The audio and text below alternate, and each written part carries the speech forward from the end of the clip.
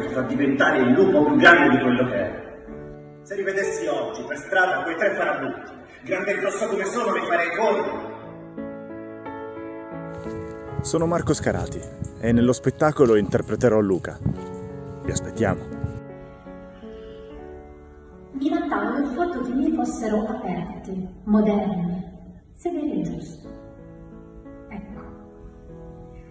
Forse la delusione più atroce è stata rendermi conto di essere sempre vissuta nell'ipocrisia. Sono Anna Giordano e sarò Laura in cioccolato bianco. Vi aspettiamo il 18 novembre.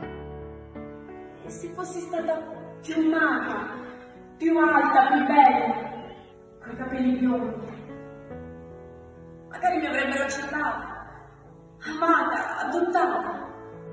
Ciao, io sono Giorgia Faraci e in cioccolato bianco interpreto Elena. Le parole hanno iniziato a scorrere nella mia mente e mi rivedevo da piccolo quando camminavo nei corridoi a scuola per la strada, c'erano per questi gruppetti di ragazzi e bulletti, no?